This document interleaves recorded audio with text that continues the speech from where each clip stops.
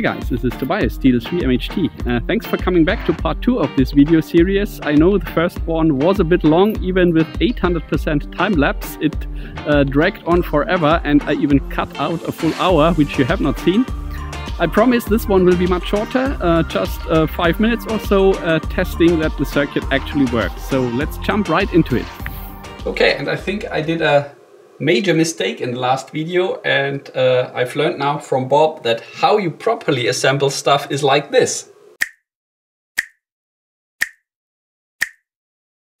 Okay, and here we are, ready with a basic test setup to check if the circuit is working in principle. Um, let me maybe show you with the overhead camera.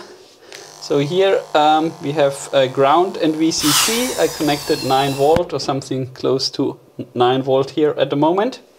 So supply voltage, this here is the output, um, which should go to our uh, moving coil uh, meter. I've terminated it with a 1K resistor and it's connected to channel 2 of my uh, Rigol, uh, which is the blue channel.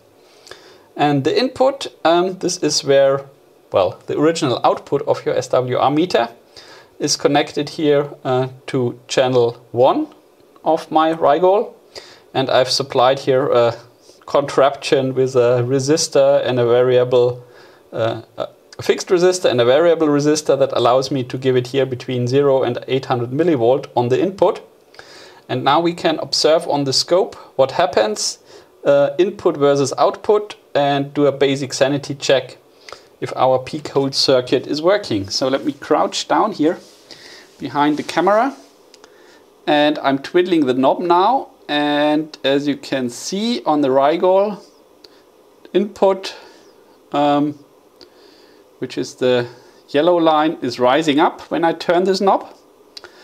But now the interesting bit is where is the output? Well the output is right behind the input. You just can't see it because it 100% follows the input. So this circuit has indeed a gain value of 1 you give it 100 millivolt on the input, it gives you 100 millivolt on the output. Well, you would expect that if it should sit in the middle of the original uh, SWR meter circuit and the moving coil meter. So now when I turn the voltage quickly down, you suddenly see um, the blue line, which is the output, popping up behind.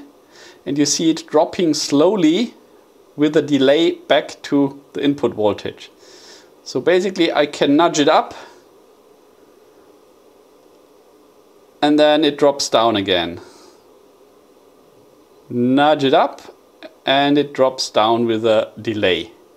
And this is exactly what we want for our measuring uh, for measuring our uh, SSB peak envelope power.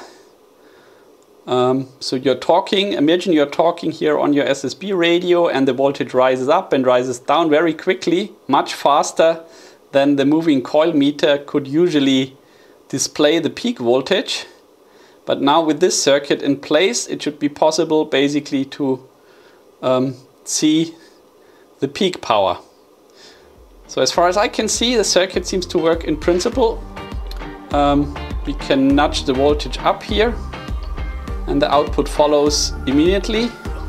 And when the input voltage drops back to zero, um, well, the output voltage uh, slowly drops down to zero as well. So everything seems to work in principle.